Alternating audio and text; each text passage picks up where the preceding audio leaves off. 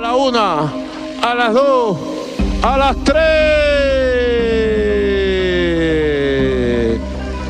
Paz y amor en las alturas para un pueblo que así lo quiere.